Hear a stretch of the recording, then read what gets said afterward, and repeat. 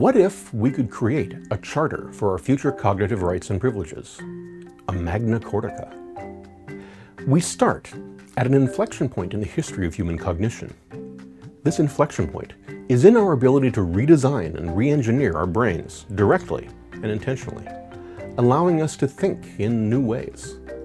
With this ability comes a new era of extreme neurodiversity, and this diversity will challenge us socially, culturally, economically, and most of all politically. Our goal then is to get ahead of the curve, to create a charter that anticipates the political challenges before they confront us. Are there aspects of our nervous systems that we should only alter in case of significant mental illness or brain injury, or never alter at all? What are our responsibilities towards the rats, dogs, and apes that we have engineered along the way to human cognitive enhancement, giving them vastly increased intellect? As cognitive capacities stratify, what new political classes will emerge, and what kinds of cognitive liberties will they demand? At the same time, what corresponding responsibilities will they accept? More practically, do I even own my extended augmented brain?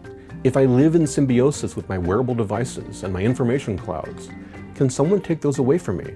And under what conditions?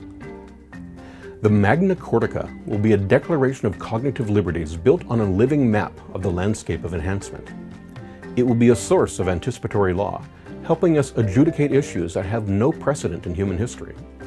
It will guide designers and policymakers, parents and even pet owners. It will be the founding document of our individual and shared cognitive futures.